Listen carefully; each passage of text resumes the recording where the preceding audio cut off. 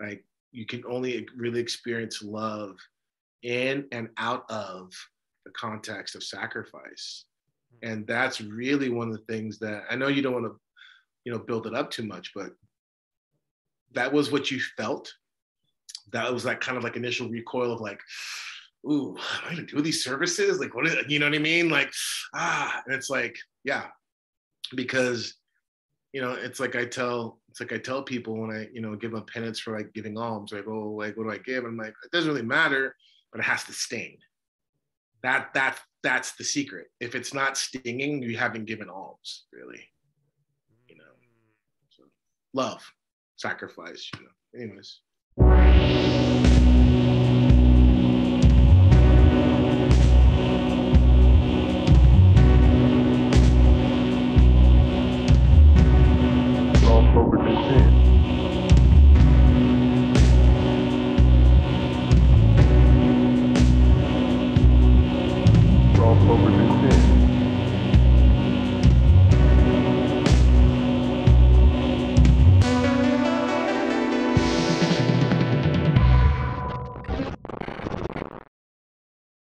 Hello, everyone, and welcome to Royal Path. I'm your host, Andrew.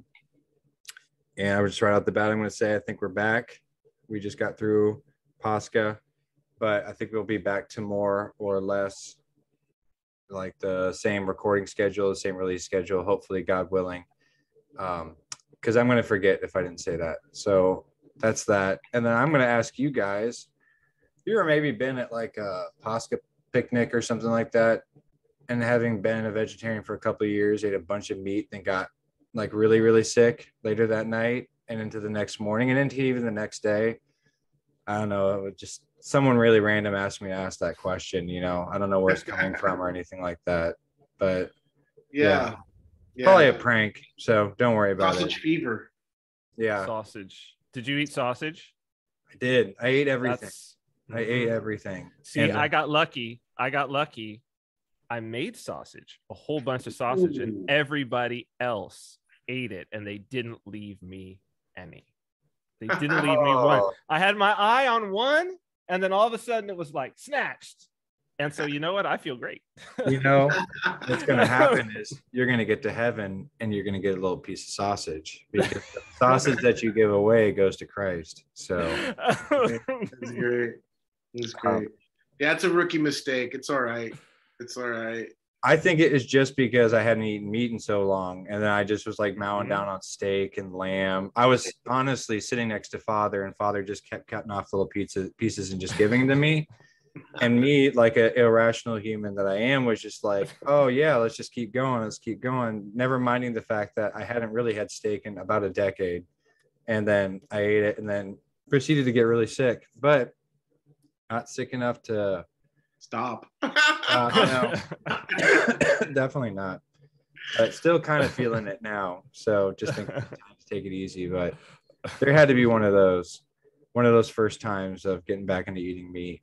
But anyway, uh, now that we're out of Lent, I thought that we could ask, uh, what is because I was going to ask this last time, but what is your guys' favorite um, soundtrack to a movie? Like, what's one that just really sticks out to you? Um, because I've been doing a lot of soundtracks recently. So mine right off the bat is right now I've been rocking the Batman. Actually has a really fantastic soundtrack. Uh, is really really good. And then uh, there's a couple comics that are really good to read. To the Blade Runner 2049 soundtrack actually is really really good to listen to when you're reading some stuff. Perfect a perfect pairing with the recent Beta Ray Bill mm. release, the five issue five issue series by the guy who did Murder Falcon. I can't remember his name right now, but it's fantastic. I can't really think of a well, I can think of one soundtrack, and maybe so that so maybe that's the one that stands out to me. Um, and it's interesting that you say the Batman soundtrack because the one that I was playing over and over and over again as a kid was the Prince soundtrack of the first Batman movie. Oh, the Michael oh. Keaton Batman yeah. movie. The it Bat was Dance? Prince. yeah, all that, all that, that totally sticks out to me as I was like, this is a great this is a great soundtrack. But then I found out that he like that he really didn't even like that soundtrack. That he Mhm. he did it and he was like, and I just did it. I don't know. It was either contractual or he some. I think it was like a contractual thing that he like had to do it for Warner Brothers or something like that. Um, they they like got one soundtrack out of him for from his contract or something. But I really liked it. I mean, there's there's soundtracks that I think are great in the movies, but I can't think of like for instance like Blade, right? Like the the the first Blade. I think that soundtrack's incredible, but I wouldn't just. I don't know if I would just play it by itself. I can't think Really? of one that I would just play by itself. No. Sometimes Yeah. it works for me to have ambient music, like when I'm working Mm. and stuff like that. They're actually on YouTube. They have Blade Runner blues from the first Blade Runner. I know I'm talking a lot about Blade Runner, but not Blade Runner 2049. The first one on repeat Mm. for 10 hours with rain uh, in the background. And I have gotten through that 10 hours before while at work, just like having it on the background just the entire day. And I just, you know, Well, I mean, the, new, the the soundtrack of the new Dune is incredible. The Hans Zimmer Well, soundtrack is crazy. It's absolutely incredible. It's Yeah. like it's I can't listen to it sometimes because I get kind of too hyped up and too kind of like ooh, like kind of ch- like that kind of spiritual chilled, but like Mhm. not in a good way necessarily. I'm like, ooh, okay, it's it's kind of right there. Well, he's a you know, I mean, he's been a a uh Hans, he's been a steady piece of the new age uh soundtrack diet for all the way back to tubular bells right on the uh pure moods or whatever the heck it was that they would sell on tv um old yeah, Hans man. Z, old hans z yeah old Hans Z. he's a new age guy I Or he's dig it. loved by the new age so Father, what about you? You got anything? Yeah, hands down, the Tron soundtrack by Daft Punk. oh yeah Wow, Hands that down. came out of left field. Hands down. yeah Hands down. Good call Mhm. good call I I can't. still listen, I still listen to it. I'm gonna have to give it another shot. I can't remember what it even sounds like off the top of my head. It's incredible. I was never that, that big into Daft Punk. I'm only coming recently, thanks to a brother from the church, coming around recently to any kind of electronic music. I've just yeah. always, So, so to me, that that proves the point even more because I'm not like a huge Daft Punk guy either, or a huge, you know, quote unquote electronic techno guy. Um, it, proves the point even more to me how how outstanding of a soundtrack it is, because it's like, you know, I'm a guy. I appreciate, you know, I I take a nibble from all the plates, right? But um, it's not per se my genre, and uh, it's incredible. That's Da- Daft, Daft Punk are special though they are like special. they're they're special they are special. yeah they're they're one of those like yes yes it's electronic but i mean they're they're definitely groundbreaking they always have been Can I ask you Really? guys a question. Do you, Father, do you have something to say? I'm gonna, I'm gonna veer us. I was just gonna say real quickly. That's my big thing is I tend to gravitate towards people who transcend genre. Yeah, that's I that's mean- my next question was gonna be was do you find especially as you get older that you tend to like because I used to you tend to not focus so much on genre as whether or not it's just good music because I used to be up until even just like a couple years ago be like oh I'm really into this like whatever like D-beat like his hero's gone like D-beat crusty like punk mm-hmm. band so I'd be like well obviously I'm really into db crusty punk and then I would try and listen to other stuff and be like, I'm not really feeling the rest of this stuff. I just really just want to listen to this one band. And then I'd like pick and choose from like different genres. And then the best is when you find people who kind of just transcend like I'm I'm gonna continue to say it over and but Beastie Boys transcend any genre, like especially like in the middle of their career. So being able to find someone that's like, no, this is just a good song. I don't really care that I can't neatly label where it goes and how it works and all this different kind of stuff. Like I that's a fairly new development for me because I I stuck to one genre of music for a good chunk of my uh, adult music listening life. So Mhm. yeah, I've Yeah. always like running across, I've always thought like it's a great opportunity when you run across somebody who like clearly knows music, but has distinctly different tastes from you. And then you could be like, what's the and they start talking and you're like and it's been great because because it's been great doing that even on uh, uh, with this project to where it's like tell me what's good. Mm-hmm. like what's what's good? What do you think is really really good? And then i listen and invariably it's awesome. Mm-hmm. right? Invariably it's awesome. It's like it's just like okay yes maybe you like things within a genre but tell me what's the best thing. Mm-hmm. what's the best thing and let me and but it's the same thing with so many things right? Like food yeah, uh, uh yeah. with like anything fashion anything. Yeah which is great because you know one of the things is like this kind of subjective subjectivism the fickleness like you see you start seeing right through it. Like once you actually begin to appreciate things you're like no there's some things that are like objectively like good you know? And it's i mean it's kind of a little rabbit trail, but I think I mentioned this. It was like I was having a conversation, went out to dinner with my three older sons, you know. And uh, you know, my older son, I don't know, it's his rebellion stage, whatever, but he just his stuff the stuff he listens to is just like ugh. And um what's he into? Just like the worst mumble. Yeah. Rap, like just like uh just you know, just whatever. Say no more. He'll grow out of that. He'll grow out of it. Yeah, yeah. He almost but, has to. Well, what, well, what's interesting though is anyone who knows me or my family, it's like, and, and maybe that's part why he's doing it because he's such the outlier. Because like it's in our blood. You know what I mean? like like it's in our blood.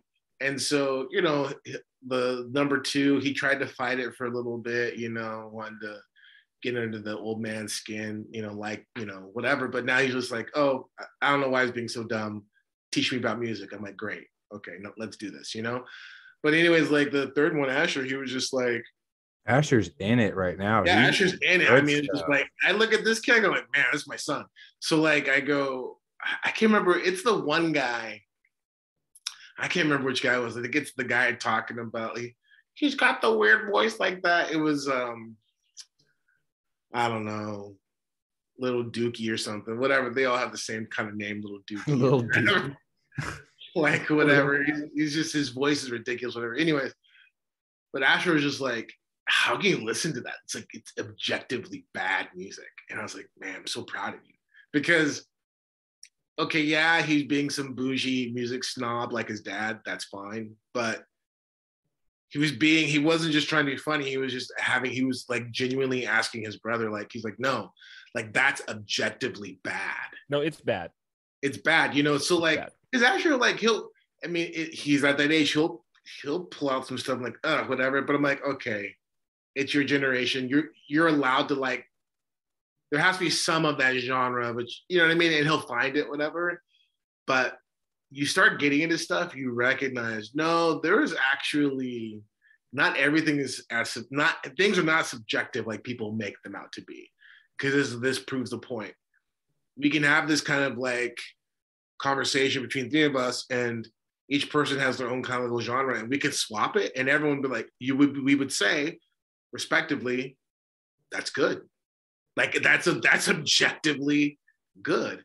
And this is one of the big things that people this is why these, you know, this is why it's futile to try to talk anything philosophical at all with people, generally speaking, because they they think that there's no rules. They they think that like if it's if it's metaphysics, if it's philosophy, spirituality, religion, it's all it's all subjective. Your truth is my truth, and it's like no, no. There's there's there's there's objective truth, and it's it's all but empirical. You can measure it. You can you can see it, you know. But if you if you're not in it, you don't recognize that. And it just, well, that's good for you, but it's not good for me. It's like taste. There is a measure of variance, but there is some objective facets to to taste and to music and all these things, you know. Well, this brings up something I think kind of topical right now, and it, it maybe and maybe this will even lead into some of the stuff that we, that we were going to talk about today. But uh, with this takeover now today, as we're recording this, Elon Musk, I guess, has officially taken over Twitter now. Uh, he's oh. offic- officially, it's officially, really officially bought it. Yep. And uh, we've talked about Elon Musk uh, before in past episodes. But one of the topics that has come up because of his sort of bid for Twitter has been this idea of free speech absolutism.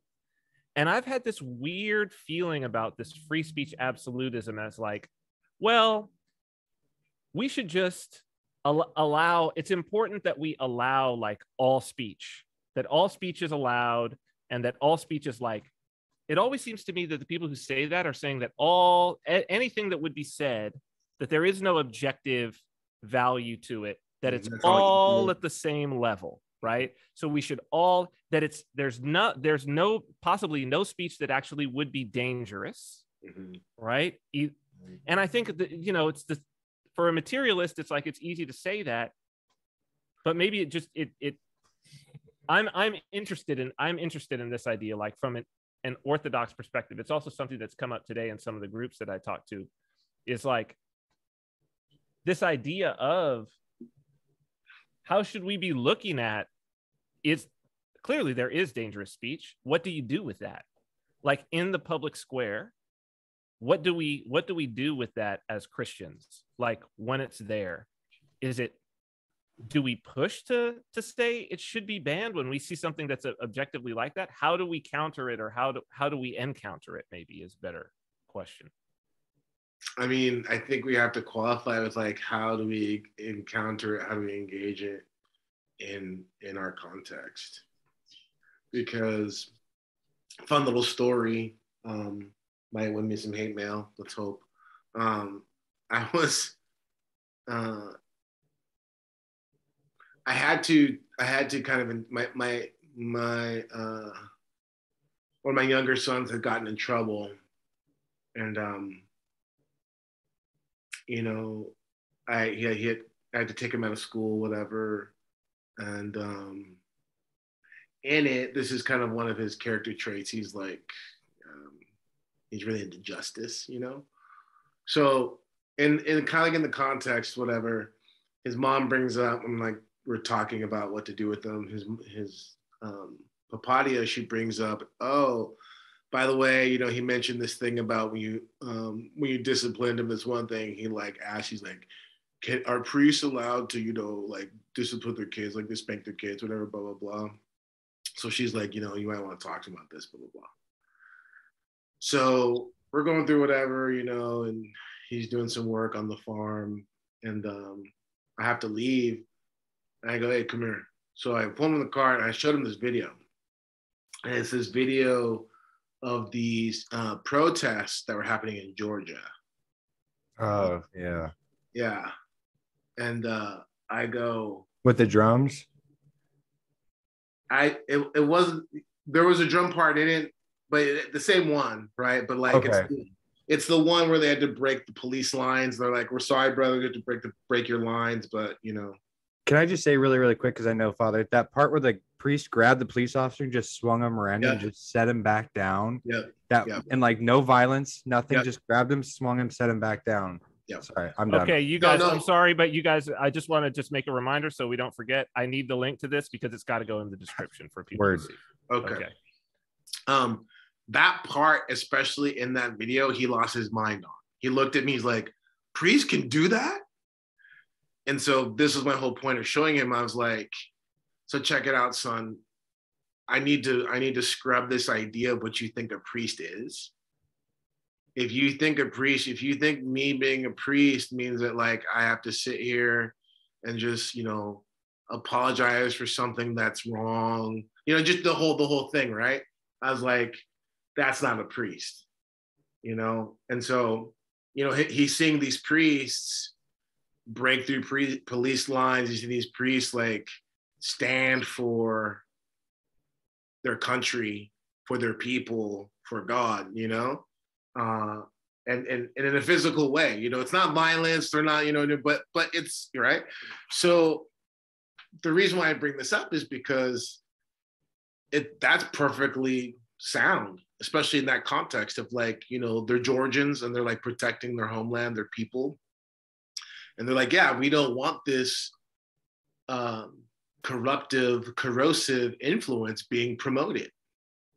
Right. Um, but in our context, because of the nature of our culture and our history, in our in our um, liberal values. And when I say liberal, I'm, I'm trying to even be you know generous here. I don't mean liberal in the kind of like caricature pejorative sense that we've experienced in the last you know 15 years whatever. But like the libs. You're not talking about the libs. Yeah yeah. In, in a more classic sense right? In a more classic sense of the word. So both of them exist. Like both approaches exist i think. But we just have to give that caveat because like i'll say i have to say that because for us to respond as they would in georgia to something like some sort of toxic speech. Let's just let's just say gender stuff like what like you know what i mean? Um we can't respond that way.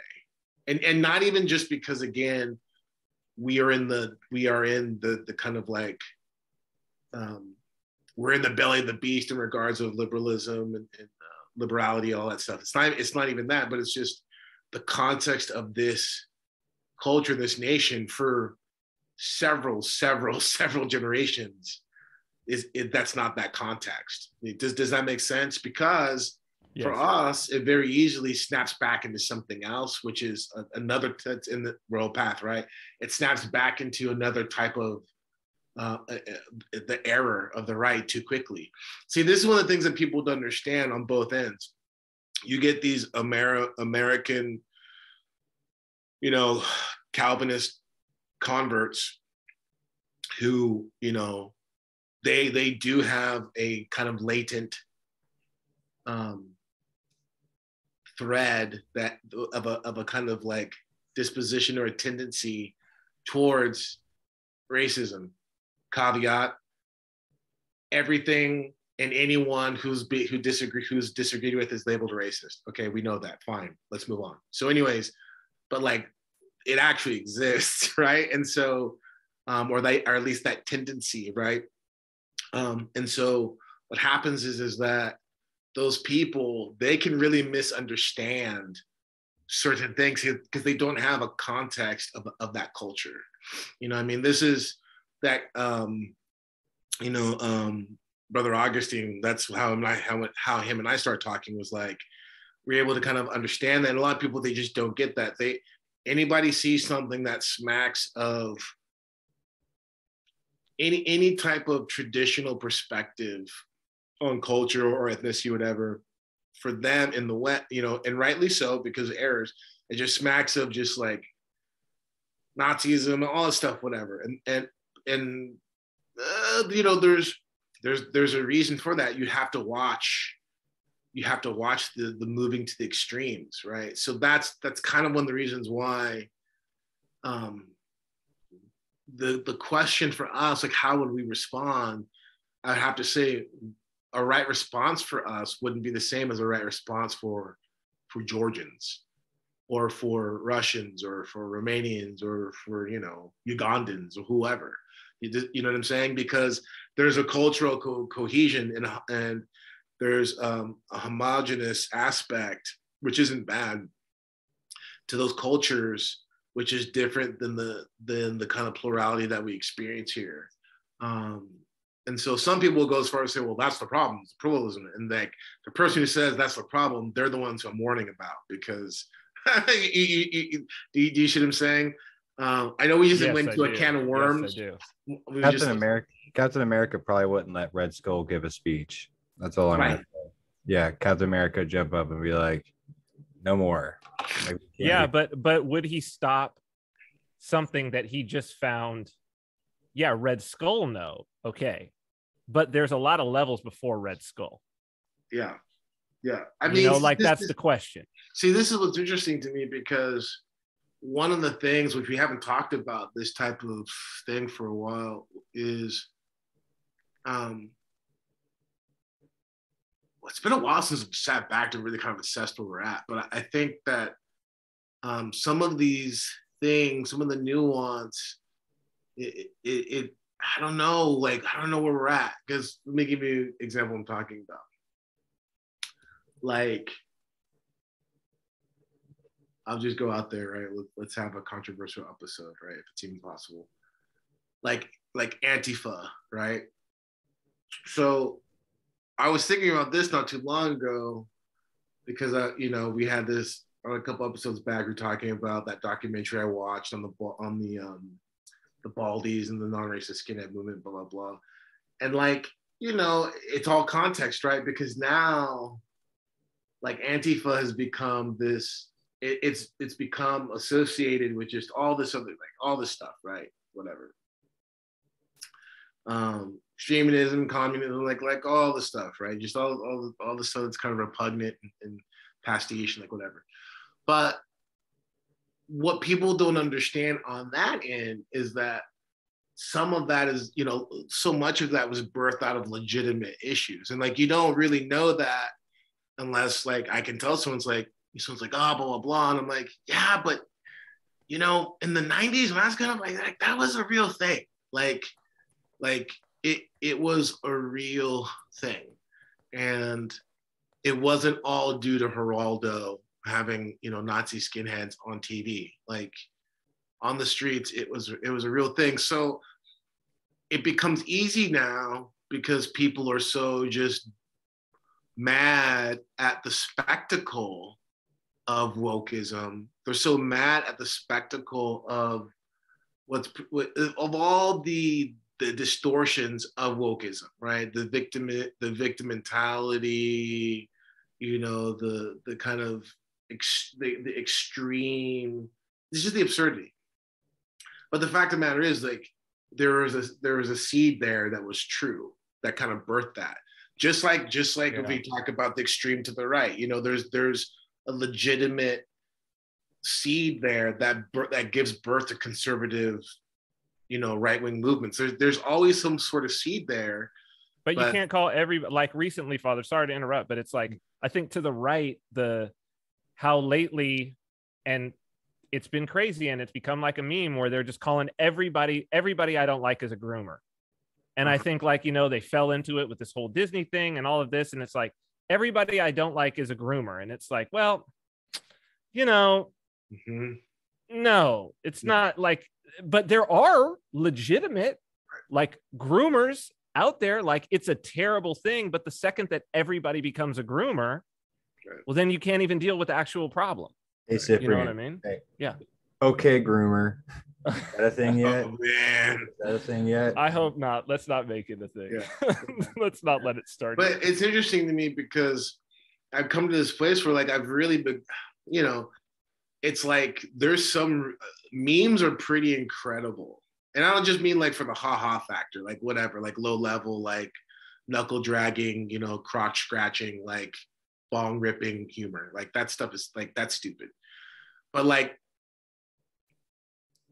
memes are pretty as a medium, as a phenomena, it's brilliant. It, it's it's super high level. It's semiotics, right? So the the the kind of downside of that though is it produces a really kind of grotesque polemical disposition. Does that make sense what I'm saying? You know? Absolutely, um, yeah. And so it's just one of those things where it's like people don't have the means to discern and filter these things out. And what happens is is like you know people you know you can have conversations with people of like mine but the fact of the matter is the culture on the whole is so obtuse and is in such a place of like of de-evolution. It's just like all you can do is you know to some degree um kind of man you know build the wall you know pull a nehemiah build the wall and try and just try to maintain your your stamp of community build your ark you know and and really hold as pray that it holds as best it can against the the tides of barbarism. Because that that's i mean the barbarism to me that's what that's what that is. And and it is in fact in fact um you know whether they be you know um visigoths or whether they be you know uh you know Carthaginian. California gods. Yeah, I mean, there's there's there's barbarism all around. There's there's barbarism all around. So, hey, Father. Uh, I'm sorry, Cyprian. I'm going to veer us completely off. Do topic. it, please. Do it, veer. Hmm. veer. So, hey, all that stuff is really interesting, guys. But here's something else. Speaking of culturally and the uh, Christian, speaking of Christian culture, um, this is what I wanted to do this episode, and I I am kind of slamming. I'm the driver's ed teacher that's slamming on the brakes and grabbing the wheel and saying we're going to go over Do here it. now. Do it. Because- it's probably more related than you think. No, it is 100% because I was talking with someone today who is a member of the Orthodox Church um, who said that we were kind of kind of like rattling off some of the um, cultural like I, I I'm reluctant to say do's and don'ts of the church um, but really I think maybe it's more along the lines of etiquette so um I was talking to Father yesterday, and we were talking about doing a question and answer. But I think I, I had thrown out the idea of doing like an etiquette episode, just like some basic mistakes that you can make in an Orthodox church or whatever without even realizing it. And I think um, it does relate because it's a culture, one. So these are, you know, this is just like a little. I, I don't I don't know the correct phrase to use here, but it's like a little I just wish someone had told me this kind of stuff. I, I, I, this would be gr- this. I am looking forward to this. Actually, it's like this will be great for me. it's very difficult to get catechized in America properly. I'll say that. To like because I didn't grow up with orthodoxy. I'm very much father father said and I wholeheartedly agree. As an American convert, I am always a guest within the Orthodox Church. I never like can come and I mean it is my home, but I should think of myself as a guest. I'm essentially coming into a mansion. I've been invited to a castle or whatever. The castle is 2000 years old. People have been living in this castle for 2000 years. I'm been in it for 8 years, you know. So I'm still kind of and I'm the guy that's like not taking off his shoes in the right room. I'm still like eating the decorative soaps because I don't realize they're not food. And like I'm using the his and her towels and not using the guest towels and stuff. I just don't know. So I think that there's, and I'm going to let Father do the rest of the connective tissue here of why what we're talking about is related. But I was thought I could rattle off a couple things, not not a huge deal, um, about common things about Orthodox culture that I don't think Americans. So I asked a couple people, and they these were their questions. So um, I thought I could ask Father, and then he could like expound on that a little bit more. So the one so what's the um, what's an important one? What's the one I want to start with? Okay, Father, why should you not prostrate after taking communion? So you shouldn't prostrate after taking communion because um, you've received the the body and blood of Christ, and you've received it in in the light of the participation of the Holy Liturgy, which is, um, you know, ultimately a proclamation of his of his death, burial, and resurrection. So once you've taken Holy Communion, it's it's um, a celebration. It's a, of, of his victory. It's an awareness of his victory. And so um, there's two things. There's a penitential nature that's inherent to prostrations. Um, it's the same reason why we don't um, we don't make prostrations now in Bright Week, and we don't make any prostrations or kneeling until Pentecost, because we're in the Paschal season. We are uh, putting forward the victory and the realization of the resurrectional life, right? And so we don't read the Psalter. We don't um, we don't read the Psalter the first week. Um, we don't prostrate because um, in reading the Psalter, um, all the prophecies are fulfilled. All the prophecies in the in the Psalter have been fulfilled, and and we are experiencing the resurrection. You know, the the, the resurrectional life now, right? Mm. And so um, the bridegroom has come to us in that sense, right? And so um, so that is why we don't prostrate. And no heaven, no heavenly king, right? No comforter. Eh, correct, no heavenly king, and that is to um, also make us aware of the absence, or not the absence, the Holy Spirit is not absent from us, but um, our need. If you can understand the distinction, it's it's to inf- to uh, bring forward our need of the Holy Spirit. Does that I make apologize. sense? I apologize. I'm sorry. At the beginning of our prayers, it is it is traditional. It's normal for us to say, "In the name of the Father and the Son, and the Holy Spirit, Amen. Glory to thee, our God. Glory to thee, O heavenly King, O Comforter." That's how. Uh, the Spirit of truth, who art in all places and fillest all things, treasure of blessings and giver of life, come to bind us and cleanse us from every stain, save our souls, O gracious Lord. well, I it. trying to say the whole thing because we're not supposed to, Father. Just- uh, well, God bless you.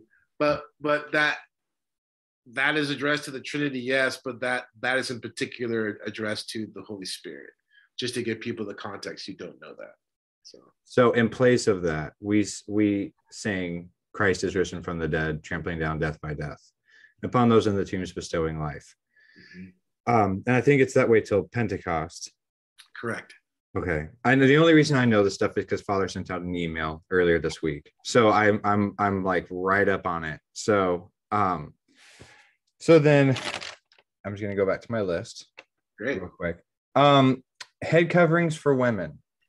And what is an appropriate head covering? Because I've seen some head coverings that don't feel like head coverings to me, like maybe like a like a sun hat or something like that.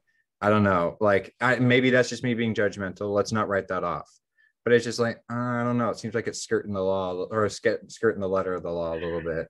Yeah, you know, um, I, you know, we were, we were mentioning this uh, yesterday, right? But the first thing I want to say about etiquette is um, when in Rome, you know, within reason, within reason, right? But just kind of like when in Rome is a good thing to kind of like keep in mind because one of the things that drives people crazy is that there isn't some sort of like uniform thing because it not only does it go from church to church, what I mean by church to church, I mean, you know, here in the States, unfortunately, uh, jurisdiction by jurisdiction, meaning, or, you know, OCA, Serbian, ROCOR, you know, GOA, whatever. Uh, not only does it not only does it vary from jurisdiction to jurisdiction, but it, varies from parish to parish, right? So there's just there there is a which I which I appreciate actually. There's there's a there's a greater variance than people might acknowledge to some degree, um, and there's greater variance. Some jurisdictions and churches will have greater variance than others, but when in Rome, for the most part. Now, More like one in Constantinople. hey, Uh, right. when in Constantinople, my friend. So, um, that being said, that being said, there's certain things that, um, like for instance, I would tell any of my spiritual daughters, right? Just like, yeah, you go to a church or whatever, you wear your head covering. You know what I mean? Like you don't. It's not one of those things where it's like, well, no one here is wearing them, so I'm not going to. No, you wear yours, right? Because that, because your piety should supersede to some degree whatever is going on there. Now, that also deeply applies in regards of if there are certain things like your piety is to, you know, I don't know, like I'm not saying, I'm just giving an example. Like you go somewhere and your piety is in, in the appropriate times to like prostrate, whatever, but you walk into a parish, like no one's prostrating when they walk into the icons. Don't, I would say probably don't prostrate because at that point, it's it might become more of a spectacle and draw attention than than what you're intending. You know what I mean? But the head covering is a different type of thing, and the, the reason, right? So so the head covering, I would you know. Um, you know this st paul talks about you know a woman you know have her head covered for the uh, for the angels um and you know i would say that people should understand you know in the church we the head covering is a is a symbol of the value of women. It's a symbol of the the absolute holding up of femininity that the church does. Mhm. um, we if you look in the church we put veils over things that are precious right? The holy gifts are, are they have veils over them right? Um, the altar when it's consecrated has a has a has a has a, a veil over it, um, and so so we we veil things that are that are precious. And um, the modesty that is um, on on a, a spiritual modesty that is that is the woman's offering is is of the utmost you know it's precious. And I've also said to people, you know, a woman should wear a head covering the same reason why you know I should be wearing a cassock. Like you want me showing up to do the liturgy in Hawaiian shorts and a and a you know lacrosse long sleeve shirts for what for men, right? Yeah, yeah. You know, generally speaking, generally speaking, um, no shorts, you know generally speaking of course it varies you know like you really sh- definitely you shouldn't be wearing shorts in liturgy. You know you might be able to get away with it hot depending where you're at you know if you're in a tropical place vespers whatever dep- it all depends. But for liturgy you should be wearing pants you know um, and it, of course it gets more so if you're at a monastery. Um, definitely you should be wearing long sleeve shirts long sleeve pants women should be wearing dresses head coverings you know and it's all it's all modesty and it's all putting forward um, uh, uh, the spirituality which is not um, it's not excluded from our our, our uh, physicality right? But but these things um, our physical bodies the material aspect of our of ourself is how we express our our worship mm. right? But the source of the worship is spiritual but it's expressed materially right? It's both. Does that answer the head covering question or? I believe so. I think so. And from like a practical and okay i was going to say this because this is weighing on me. When i first became orthodox uh, i was at a parish uh, a little um, a little mission and they were struggling with these same things. Um, people were kind of you know so they were kind of looking for this more like uniform uh, strict sense of like like a like a brochure or something that they can maybe give people.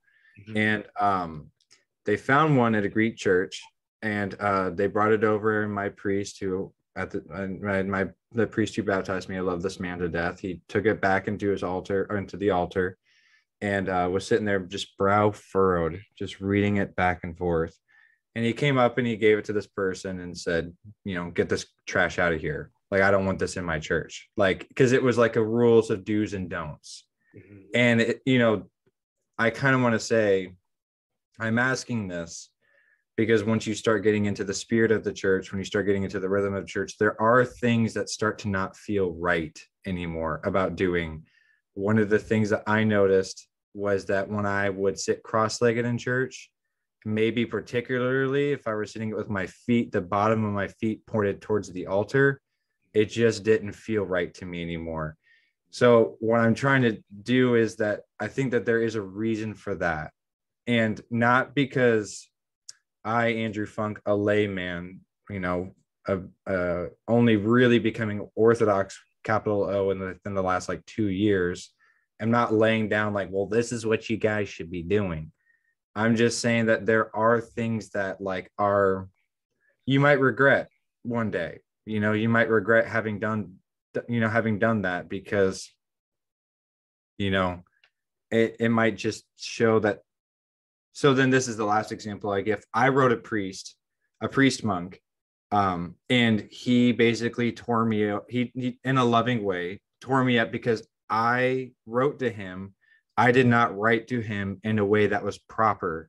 Like I wrote an email to him that was not proper for um to, to write to like a clergyman.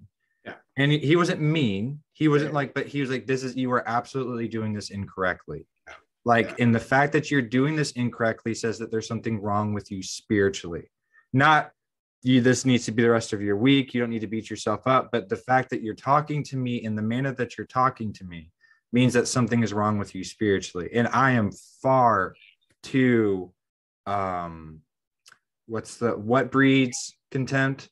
Familiar. I'm I'm, I'm oftentimes far too familiar with Father Turbo in, in a way that I still understand it.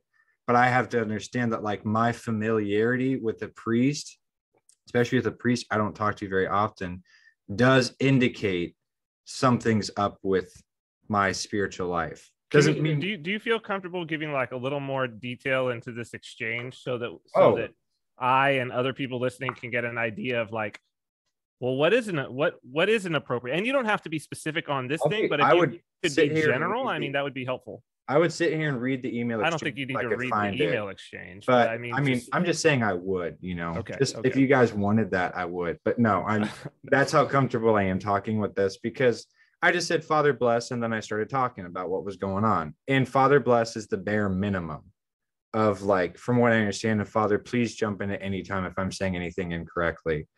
Um but basically the proper protocol at least according to this priest, this priest monk um was Father bless and then I would say Father, please have, um, may I have your blessing for me and my family? Name everybody in your family, their saint name, not just my family. He corrected, said there's power in saying a name. So he doesn't also, so he doesn't have to go through and find my family's names later on. So every time I talk to him, please pray for my family, Markella, Xenia, Nikolai, and the unborn Matrona, the un- unborn child Matrona. Um, also, if you could play, pray for da da da da da da da subject of email below that, you know, Father, I'm just writing to let you know that I got those books you talked to me about and they're really good. I just wanted to bring up these particular parts, blah, blah, blah.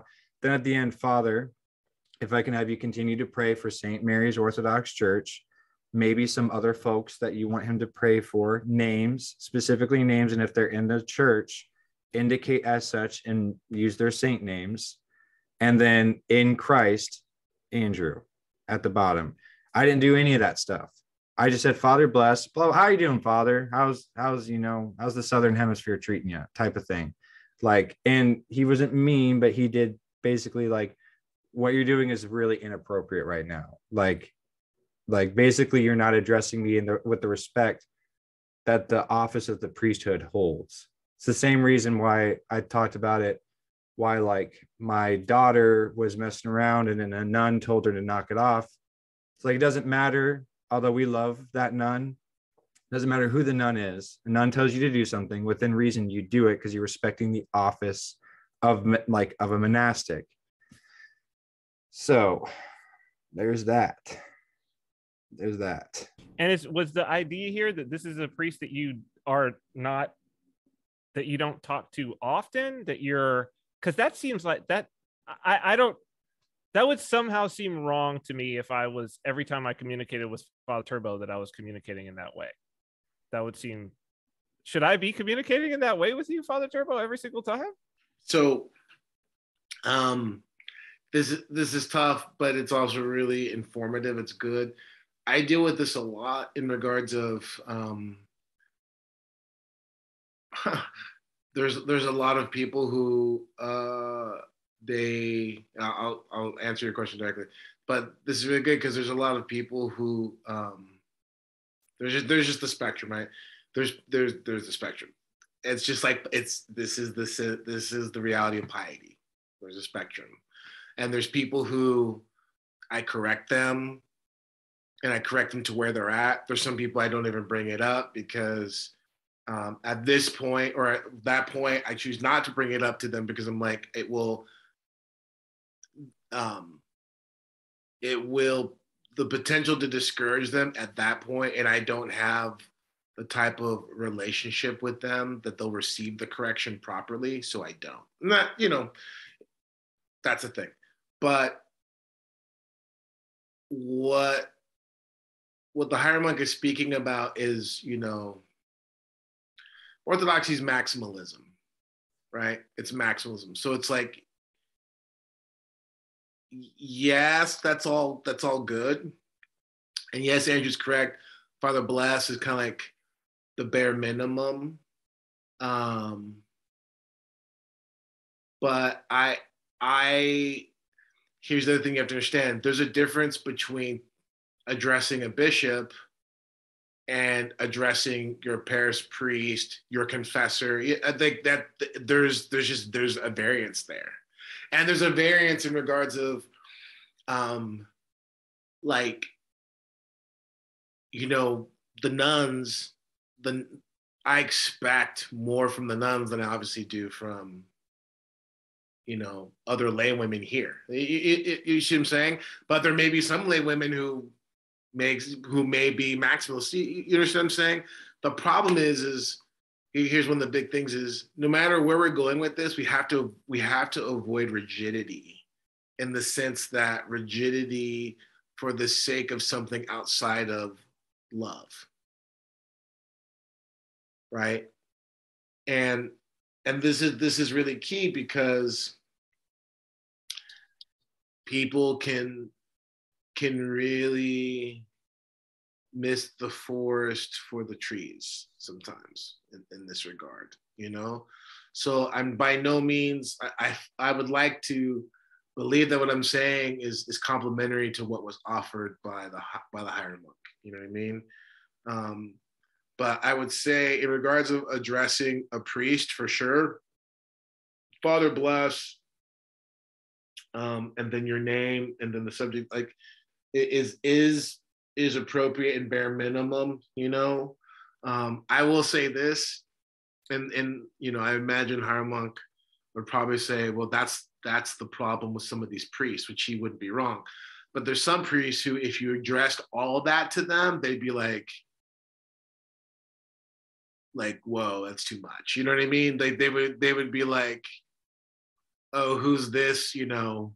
Does it make a difference because he's a priest monk? Does that make a difference? So it makes a difference because he's a priest monk, a hieromonk. It makes a difference because of your relation to him, I imagine as well. You know what I mean? Like, I personally find it, it's there. There is a measure of um, there, there's there's a there's a there's a there's a glaring lack of etiquette respect and awareness of of the office of the priesthood that come i mean i see i run into it all the time. Um but i don't take it personal because i i, I know that like that's that's one of the big things is i don't take it personal. It's never like how dare you disrespect me you know? Um but you run into it and the and just we we are we are barbarians right? So getting back to barbarians we're barbarians. So for me i'm really keen on i'm trying to convert people i'm, tr- I'm trying to i'm trying to bring people out of barbarism. That's how i see it you know what i mean? Um, and most people would look at me and think i'm a barbarian myself anyways and they're they are correct right? So yeah. Um, but i would just say to this if some like those who are listening if if you're falling into anxiety of like, oh my gosh, you know, blah, blah, blah, don't do that. Don't fall into anxiety. Amen. But just look at the situation in regards of when you are dealing with, when you're writing any type of clergy, any monastic, especially if you're writing a bishops, a hierarch, you really need to understand that like, how would you address, I wouldn't even say Christ, how would you address, you know, an official, a king like how how would you do that, right? Because this is so backwards. It's so backwards, and this is part of the thing with etiquette that we hope we can get into this a little bit. Like part of the barbarism that people are suffering from is the barbarism of Protestantism. Mm-hmm. That they they do not see Christ as deserving of this type of fear and respect. Jesus is their homeboy. Jesus is their kind of like whatever, you know. And so because of that, there's a familiarity that is really contempt that they offer to Christ. They would never say it. They'll say like, "No, I love it's blah blah blah," but it, it's it, it, that's what it is. It it's, it's barbaric in that sense.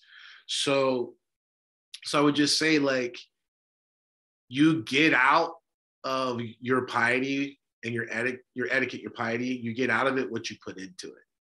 So if you put into it, if you put into it rigidity for the sake of wanting to be like the guy who has his eyes dotted and his T's crossed, then what you're going to get out of that is is something that that won't be very life giving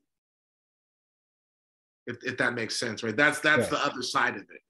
That's i think that's that's what i was trying to say with my caveat just a, a minute ago or whatever i was trying to say this is not rigidity for rigidity's sake it is life-giving mm-hmm. it's like mm-hmm. it's living i guess more correctly or being more pious so yeah so like to be to be a God-fearer, a God honorer, you know, piety is the means by which Saint Theophanicus, if you don't have love, do acts of love.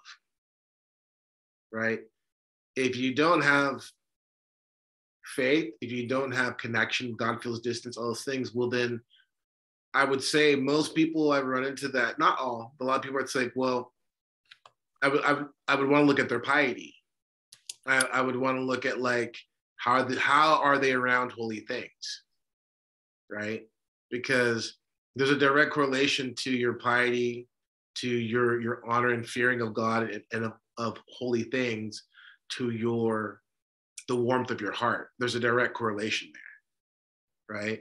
A person who treats holy things with a, a kind of casualness and, and, and to some degree like a familiarity that that really borders on indifference, that person spiritually tends to be, you know, very, you know, lukewarm and dead. I'm sorry. That's just it's it's not an absolute. It's you know, I'm not saying there's always exceptions, whatever, but that tends to be the thing.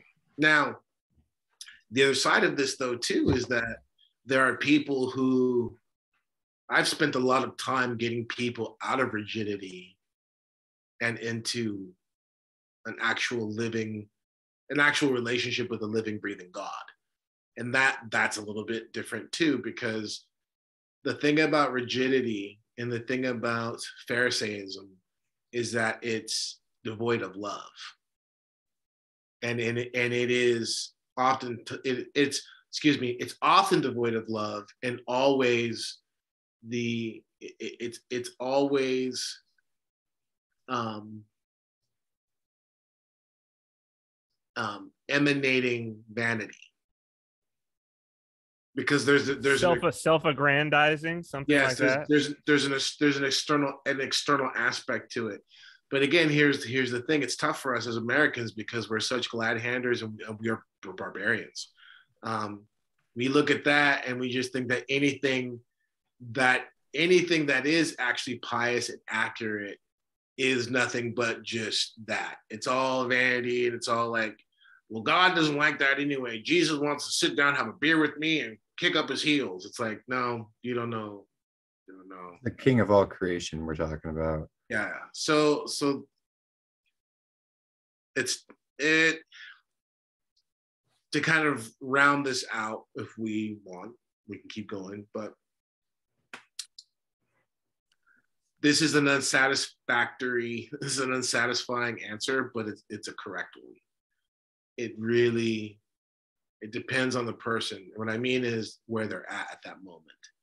Because um, let's just be really clear. Uh, there are there are plenty of people who have been Orthodox their whole life and they're not pious. That it's it's not like it's not baked into the cradle in that sense. There's some things that are. There's some things that are right in regards of, you know, um, knowing the kind of like rudimentary aspects of the culture of the church, but um, piety has more to do with one's own personal fervor versus versus like the actual exact movements and speed of this way they make the cross. Does that does that make sense? I think it's really important to say that because you know so many people we all go through we want to find out i want to do everything right i want to do everything right which is that's a good sentiment right but I always have to check it because it's just there are these moments where it's better that you learn the humility of engaging something necessarily engaging something not necessarily in an improper sense but maybe in a naive sense so that your ability then to really become orthodox becomes more apparent. And what I mean by that is this you can teach a monkey how to do things accurately, right? But to actually come to a place where you're moving in your heart, that that's that's that's not as easy and that takes experience and it takes maturity. See, because people want to come in and they just they want to learn all the right bows, all the right secret handshakes, but the seasoning in which that becomes an like an actually integrated part of their of their personhood it doesn't happen that quick right and so this is just part of those this is part of one of the things where um and you know i i would just say the fruit of this is like, and again, it's all context, right? If someone hasn't had a lot of experience working with converts and Americans, and especially in my little kind of specialty, um, American converts who are coming out of a particular, a, a particularly rough and difficult context, whether it's subculture and all the kind of accoutrement of that, drugs and violence and all, you know what I mean? All that to some degree or another. Um, it, it becomes a different conversation, right? Because we're not talking about like upper middle class Anglicans who, you know what I mean? Want to like, we're like, I'm dealing with people, as you guys know, like uh, who have come from really rough spots, and, and the fact that they, the fact that they, I look at some people, I go like, the fact that they're even in church, the fact that they're even making the sign of the cross, the fact that they're even trying to trust God with their life, to me that's everything. And and it's more important that i'm able to approach them at a time when i feel god's blessing that meaning that a broken a bruised reed he will not break and a smoldering flax he will not snuff out as the scripture says. You, you you can't just come in there and be like nope you're doing everything wrong you're doing everything wrong. This actually just happened recently where someone in the parish corrected a new person about prostrations and it's just kind of like it's in my mind i'm like i'm gonna have to correct this person when i get the chance right for for correcting this other person because they should he should not have corrected him. Yeah. It, it, was the wrong spirit. And there's a time and a place to correct people. I mean you know andrew i correct i correct people all the time. Mm-hmm. but with god's help i try to do it in a way that's going to encourage them and not discourage them. And and and that's that's that's the key. It's so, like when you got that vinyl or whatever that record and someone gave it to you and you're like i can't take this you know what i'm talking about father yeah, yeah. it's like a way of bringing you guys closer together and it has i mean it and, and i would like to think what i'm saying well what i'm saying here is is, is from experience right like it just is I, I don't know how do i was to say it like like you just it's just from experience. Like sure. the parish is filled filled with people. like it, it's sure. it's all it's all experience, right? And we all yeah. Anyways. So then this is a this is one that was interesting because this is one of those good moments of being like, okay, it's nice to know that I always know, but to then like have this like emotional I guess, satisfaction that God is still working in me that no one told me this. It just started to feel wrong to do it. And that was um, when you enter an Orthodox church, um, there's icons you venerate. Usually they're towards the front of the church, but not always. Mm-hmm. Um, and there are times in which during the liturgy, during Vespers and stuff, that the royal doors are mm-hmm. open. Mm-hmm. And it just at a certain point, it started to feel kind of wrong to go up and venerate those icons when the royal doors were open. And so um, I started to feel wrong. And then one day, it was, I think it was a Sunday, Father, because the liturgy, you know, it was for that part of the liturgy, closed the doors. And then like three or four people went up and then venerated who had been standing there for a little while. And I was like, okay, this must be a thing. And then I asked Father about it, and he was like, well, you know, in his father way of trying to be, you know, um, not necessarily, uh, what's the word I'm looking for? uh, political, maybe it's the word I'm looking for, but um, diplomatic. Diplomatic. Trying to be diplomatic because we're sitting at a table and maybe he did like a quick ocular scan of like who was sitting at the table. But he was like, well, you know, yeah, there might be some important stuff going on, or there is some important stuff going on, and maybe you shouldn't be up there at that time. So, um, uh, yeah, I wanted to, that, that is like a thing though, right? To like maybe wait till the royal doors are closed as best as you can to go up and venerate those icons at the front. Yeah. Yeah. Yeah. And yes. And, and you, and then just understand there's, like everything in the church, everything in reality is, is hierarchical, right? So there's a hierarchy of, of um, you know, especially if the chalice is out, the chalice is out, you know. Chalice like, is out, always stand up, don't sit down. Don't sit down, you know. Don't sit down until the chalice is is brought back into the altar, you know. Christ is Christ is there. Um Christ is, you know, being is there present with us bodily and, and it, it's, I'll give you another good one people should know. If you're somewhere and there's a bishop there or bishops, don't get the blessing from the priest, you know? It was on my list. It was on my list. Yeah. Like, especially like now, if you need to, if, you know, you're catching your, you know, your spiritual father and no one's around, it's like, man, you know, love your father. You Like, okay, whatever, you know, that's, that's that kind of like piety that's endearing, right? That's the familiarity that's endearing, right? Um, but you know, we don't do that because um, hierarchically the bishop, you know, the priest serves by the authority and the blessing of the bishop, right? And so the bishop, you know, we don't, priests don't offer blessings. We don't give blessings in because, you know, truly Christ, you know, in, in the person of the bishop is, is there, right? So. Yeah. Just, an, just as an example, you know, that kind of yeah. hierarchy, that hierarchy of, of of, of veneration and worship. Then during like the gospel and your homily, or the homily rather, um, people sh- probably shouldn't be like going in and out of the church. Uh, yeah. the nave as best as they can. Obviously, yes. kids throwing a fit, you know. Yeah. So if your if your job is, you know, doing, you know, th- there's a great rule of three. I just want to encourage people to understand. Uh, you know, first bless, second bless, third one's from the devil. You know, first glass of wine, bless, second glass of wine, third one's from the devil. First peep from the kid, God bless them, we're glad they're alive. Second peep from the kid, you know, it's joy, it's a symbol of life. Third peep and on, it's like, you know, okay. It, you know what I mean? Like it, it's just understanding that. And the reason I say that is because getting up and taking your child out of the service during the homily or the gospel reading after the third, going on unto the fourth, of like, and I have eight children, so I understand it, but like, there's a difference between like the like nah, like the just the kind of one offer versus the extended like. Ah! It's like once we start getting into metalcore, and it's just like I'm waiting just for the blast beats to come in. Take the kid outside, you know, like it's okay.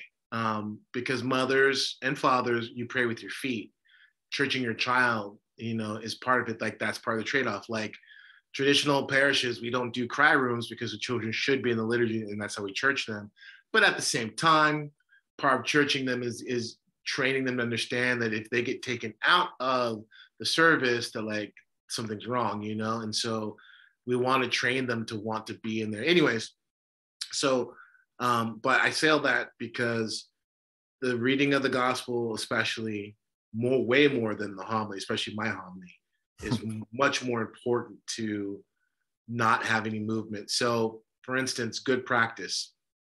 You come to church, you're in the narthex, whatever. You're you're like, ooh, we've been late. The kids, you know, they were flinging, you know, whatever in the car. We're we're here late. You're about to grab the door, and you see that you know, father or the priest or you know the deacon or whoever is about to read the gospel. Don't open the door like you know or, or more importantly is reading the gospel wait in the narthex before you come in. That's that's good piety actually right? Um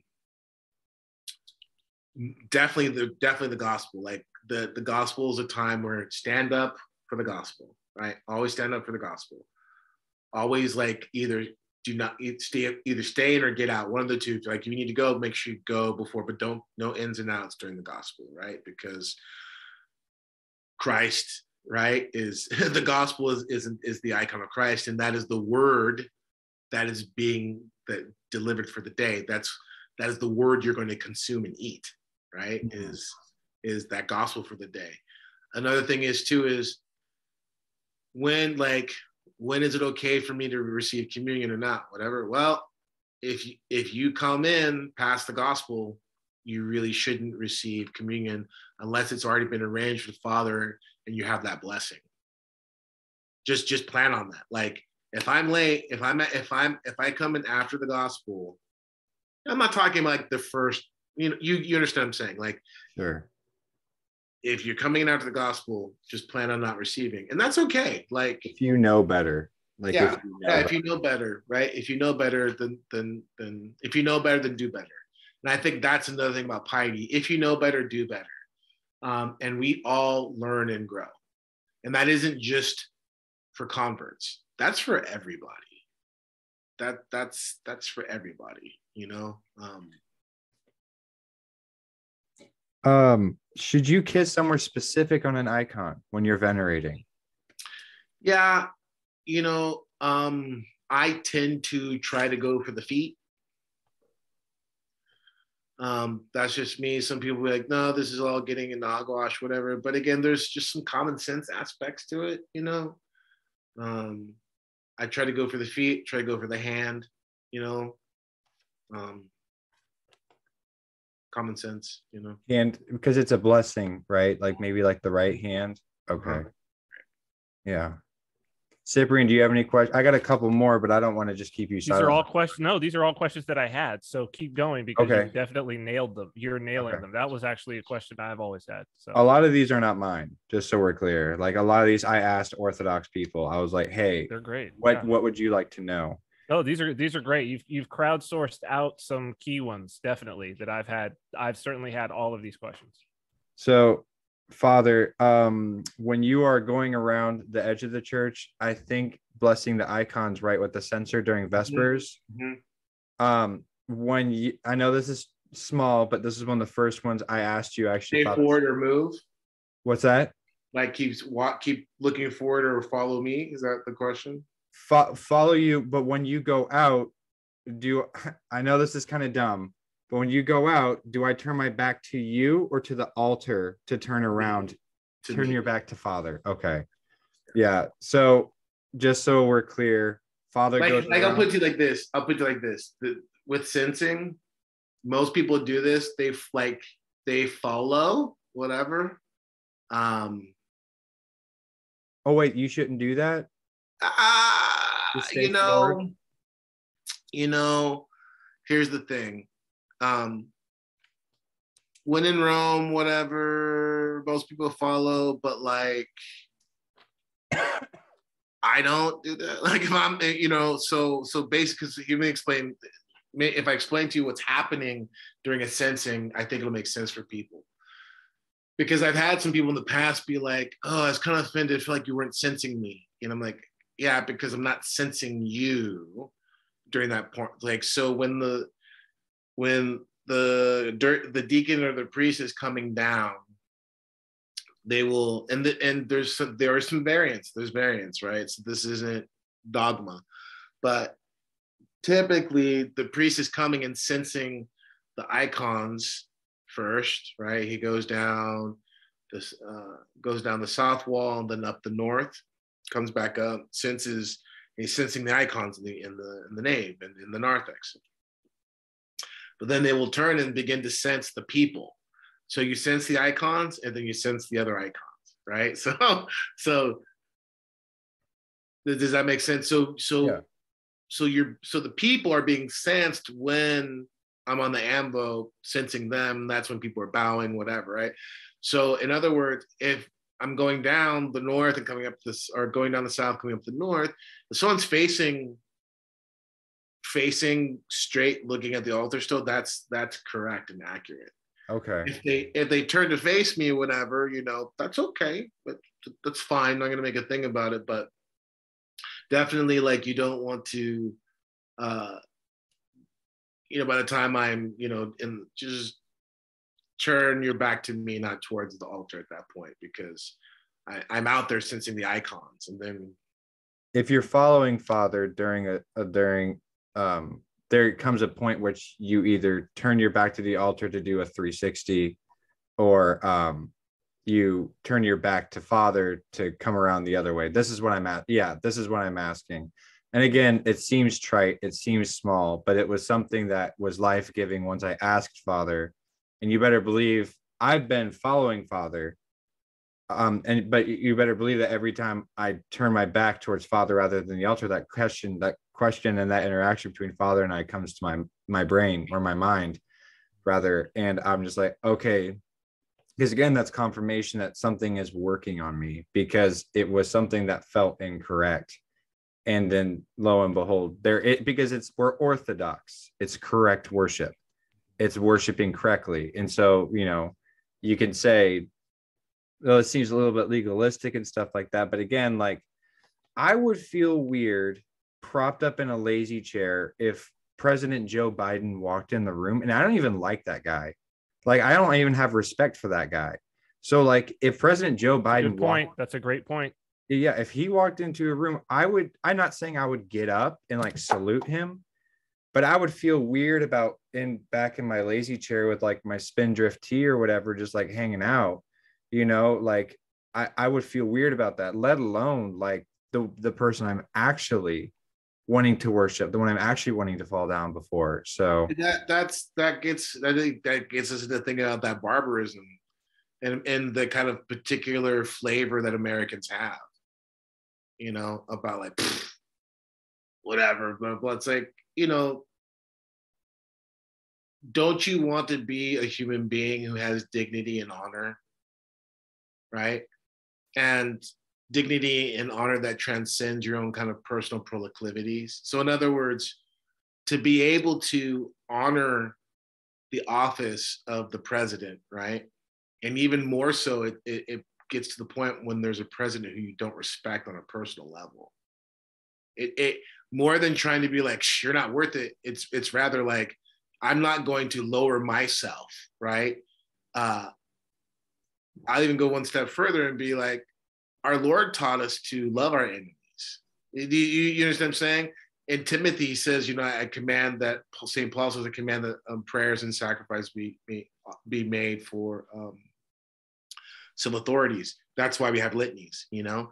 And so it, it's just the church calls us to to be human beings and the problem is we aren't human enough the problem is is that our bar for being human is so low and it's it's barbaric. And so we are always wanting to to ascend and to grow and and to become more more and more human.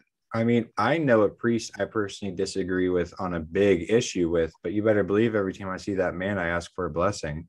And like i you know i still treat him with respect. Like there's absolutely no it, it would be for me Andrew Funk, a layman from Missouri, for me to walk up and start arguing with him, I'm just I'm not I'm not going to do that. Like that, there's just nothing to that because he's in the office of the priesthood, and, and he'll have find, a reward. And you'll find some people. I've encountered this before. Uh, I've encountered this with some people who they've gotten too big for their britches, and maybe they have spent some time overseas and they start telling me like, oh, blah blah blah. Well, the Russians, blah blah blah, and I'm like, ah, uh, you know, what I'm what I'm talking about is some people will take something that's a bad practice and say just because Russians do it that it's the right way. Like for instance, coming late. Well, that's the Russian way of doing it. No, it's not. I mean, it is maybe, but that's just a bad habit. Sure. You, you know what I'm saying? like there there are these things that it there's things where that's a great example of like i don't really like okay sure great. Is that honoring god? Is it, is it honoring god to come late to liturgy right before communion? I don't care how long it's been done.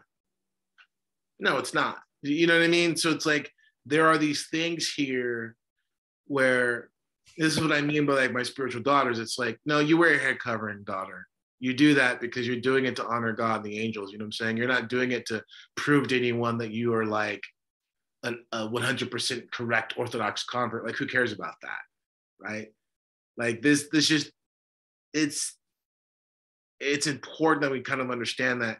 And it's one of the things, it's one of the tougher things about becoming Orthodox is that you there there's just a royal there's a middle road there's a royal path that you have to really kind of like walk and it requires actual engagement because if you just want to go on the internet and read some stuff and not get to what not get to where we're trying to talk about which is the heart like you're gonna miss it.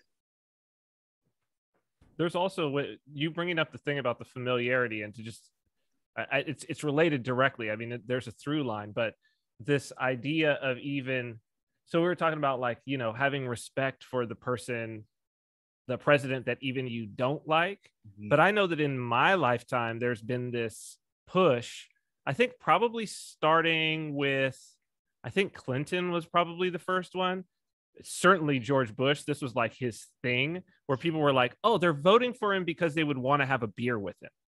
And I'm like, mm. and like in a good way. Mm-hmm. But for me, I'm almost like, well, but that then that's a disrespect of the office of president in the same way. Mm-hmm. Because it's like, out of that. Do do you do you want the president to be somebody who would have a beer with you? Yeah like with you, the president, you want the person in the Oval Office yeah. who's got their finger on the nukes that could end the world to be to look at you and be like, I'd have, I've had, I'd have a beer with that guy. I don't. Yeah. I don't. I want him to look at me and be like, he's not worth my time. It's interesting you you bring that up, Cyprian, because I remember this conversation before I was ordained. I, had, I was having this conversation with with uh, with a with a priest and a nun about that, and I was wrong.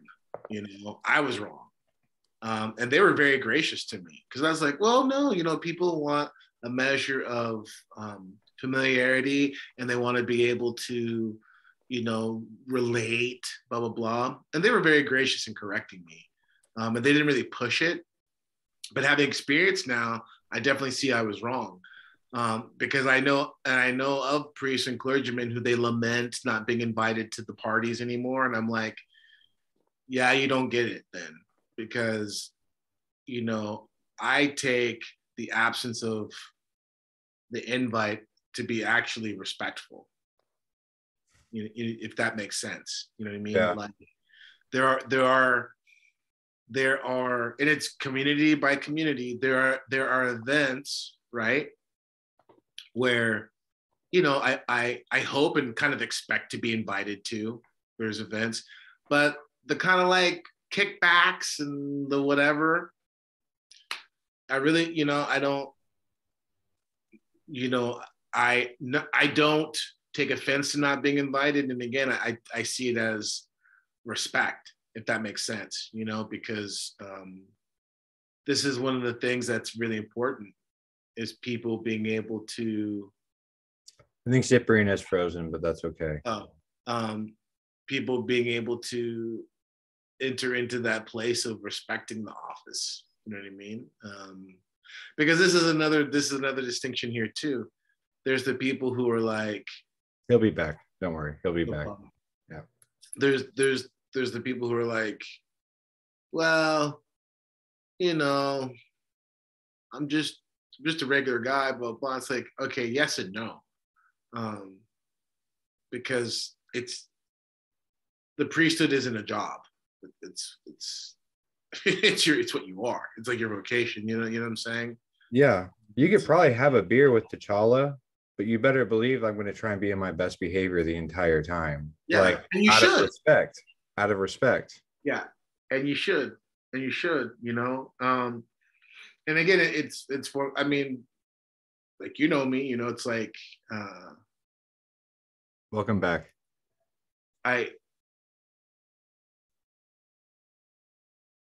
I'm definitely. I don't know what happened there to me. Oh, okay. I, I definitely. This is just me, and maybe I'm wrong. This is one of the reasons I'm not trying to be. Is one of the reasons why someone could say, you know, they, they would question whether I'm a good priest or not. They're probably right. But I, I do try to maintain, um, not familiar, but I, I try to be approachable to my flock and to people because I know that they I know that I know my people, I know my culture, right? And I know that um, the people that God has has put me to minister to, um, there's a measure of there's a measure of of being able to minister to them that I'm not able to get to if if things are formal in a way that is intimidating. Does that does that bad? Yeah. Well, I mean, Saint John was on the breast of Christ, Mm-hmm. and then Revelation happens, Yes. and then like he's flat on his face. He's mm-hmm. like, you know, this is absolutely the King in his glory. I mean, there has to be this measure of like being able to meet people where they are at, being able to like to to to condescend, if you will, and Andrew, forgive me. I just want to stop right there because you you've, you've hit a bullseye. I just I don't want us to go any further until we just come back to that. I want people to Sure. understand this because you you've summed up perfectly what what I've been stumbling over this whole episode, which is it's really about meeting people where they're at. That doesn't that doesn't mean because that because Christ does do that, right? He just doesn't leave us there Mm. right? Mhm. He just doesn't leave us there. So meeting someone where they're at, that doesn't mean that just like you're too casual, nothing care, you know, there's no dignity. It's not that at all, but it's just it's love, right? It's like, and again, I could be wrong, but I try to be gracious, loving, and and patient with people. Because again, a broken reed, he a bruised reed will not break, a smoldering flax he will not stuff out just meeting people where they're at and getting them to a place to where they're encouraged Mhm. I, I- you know it's like if i if i snap down on someone and scream at them or or or embarrass them improperly they may and probably will act right but what kind of precedent have i started in their heart? Right? Are, are they are they doing something out of love now or am i or am i actually reinforcing vainglory and vanity for them? Mm-hmm. Right? That they're mm-hmm. like well i don't want to look like a fool it's like yeah there's nothing wrong with not wanting to look like a fool but more importantly don't you want to do what's the honoring thing? Don't you want to do the loving thing towards god and towards your community? Does that does, you, you understand what i'm saying? Well, no, and that's good because the the best um the the parable that I relate to the most, the one that really strike this one I was listening to a podcast and the priest was explaining it and I was driving and oh boy my knuckles turned white when he was talking about was being invited to the the feast and sitting farther sitting above your station. So like Mhm. say you go sit at like the groom's table or something like that and a waiter has to walk up and like on the uh, like on the shoulder and say, "Hey, buddy, you're actually supposed to be way back there." So they have to lift up your plate of food and walk all the way back, and everyone knows what happened. So you look like a fool, you know, like you, you know, you, this whole thing happened where you suddenly look like a fool. But being able to like start at a spot and like gently, like, you know, what I'm saying, like, like they start in the back and then gently like nudge them forward. Like Christ will go back and like see you in the back, but like like gently like nudge you forward and be like, hey, it's okay. You could, you know, why don't you try sitting over here? Why don't you try sitting over here? I don't know. That started out different in my brain, but like I think what I'm trying to say is this that like being able to what's the parable right yeah, Look, sure. he gives us that parable better to you know we should i don't we're gonna i'm gonna misquote it but obviously like better to sit with humility in the back and and versus with presumption and have to be told you know Sure. why are you, why are you here yeah Sure. Yeah. Okay. So then the last one I got is um crossing yourself to get like a blessing or like so like during the kiss of peace sometimes people will cross themselves before they come up to me to ask for my forgiveness. And that's a no-no right? Like when you walk by like crossing yourself like say you're censing again back to the censing if you're censing and you walk by and you cross yourself from what i understand that's inappropriate correct? It's not proper. Yeah it's not it's generally because it, you're not a bishop. You're not like a bishop. You're not. Yeah, and, and it's you know like you know icon, you know, um, and people it happens. People do it again. This is one of those things where it's like I don't want people being mortified. This is this this stuff is great, but it's also tough because I just know for some people, and you know, God bless them. Maybe it's part of the vanity they be shocked out of, but like it can mortify them. But like, yeah, you know, like you don't. um So there's a thing of like blessing others, right? Which that's a that's a thing. People like parents will bless their children. Talking about like doing this, right? Yeah, making the sign of the cross over their kid, or like you know, um, that's that's that's good, you know. Um, but in regards of, you know, uh, making like if you come if you come and ask for a blessing from your confessor, like, oh, follow your blessing. Like, don't make the sign of the cross and then ask for a blessing, right? Just, you know, make your bow if you want to do that, but but just, you know, you take your hand, left hand, put your right hand top of it, Father bless, you know, get the blessing from the priest. The priest, you know, you kiss the priest hand, uh, the hand of Christ. That, that's good. Um, there's no need to like cross yourself to get the to get the blessing. Right? Okay, cool. Um, like it's just not necessary. Yes, but but here's the other thing though too, and again, this is why um, we don't say we don't yell out amen. Although in our parish we have Dave's right who do yell. And, in Dave's awesome. Dave's awesome. We love Dave, right? Um, but don't you do it? You know what I mean? so like we let Dave do it because we love Dave. But if Andrew did it, it would be weird, right? Like just a great example of piety, right? Um, uh, so we don't yell out amen, but instead what we do is make the sign of the cross. And this is why some people be like, I hear this all the time, catechumens.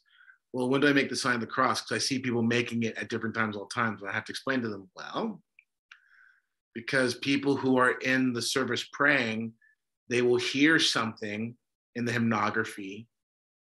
Something will come to them in prayer, and they will make the sign of the cross as like you know in the same way that's that something hits somebody in the Pentecostal or the Baptist church, like, Amen. You know what I mean?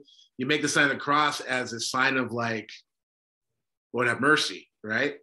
So that's why there isn't this kind of like stand. There is a standard, right? When in the invocation of the Trinity, we always cross ourselves. The name of the Father, Son, and Holy Spirit, right? Let's cross ourselves. Um, invocation of the saint, especially the patron of a community. Cross yourself. You know what I mean? Like there's these moments you cross yourselves. Venerating an icon, you cross yourself. You know. Um, it's kind of a when in doubt, cross yourself. Yeah, when in doubt, cross yourself. You know, like it's never going to be like.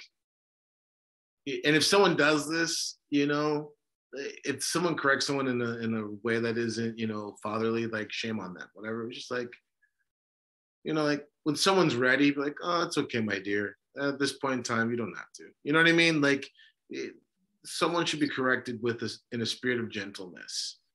Um, I was going to say something about that at the end. It's like if you find yourself getting a little ego boost from it, then yeah, like maybe don't do it. I mean, that's my experience. Uh, if you like correct someone and you're like, ooh, I kind of like that. Like, yeah, you know what? Can I just want? Can we talk about this real quick? Yeah. Um, this is a general rule of thumb that I would give to any of my spiritual children who are in a place where they want to grow. Um, and I, I have to say that because like that's another thing. Not everyone's in a place where they want to grow. That's just a fact, right? Um, but I would say the rule of thumb in correcting people is number one: Do you have authority over that person? Hmm. Right. Um, and number two, are you correcting them for the benefit of that person or are you correcting them because you're annoyed? Hmm. Right. Those two things, not one or the other. If you don't have those two things together, don't correct someone. So um, that's that's a good standard for correcting people. Does that, that's good. Does that, does that make sense? You know it's good because yeah, you can fall into something to being like well i am correcting someone on like the Holy Orthodox Church, you know, like I'm doing something good here. It's like I don't know about that. I mean, sometimes it can be. And and someone's gonna disagree with me, which is fine, you know. Um, but I I would just I would offer this, you know, it's like again, um, if you really break down what I just said there, it, it kind of covers your bases. You know what I mean? Um, because, and again, for the fifth time, I'm I'm I'm obviously not the model priest, but I would just say this: I fear God, um, and that all being said, you know, the reason why I don't correct people in the way that some others might think I should or don't is because I do fear God, right? Um, lest I have a millstone tied around my neck and I'm thrown into the sea. Better that happen than I stumble of these little ones. You know what I mean? Um, and there's don't get me wrong.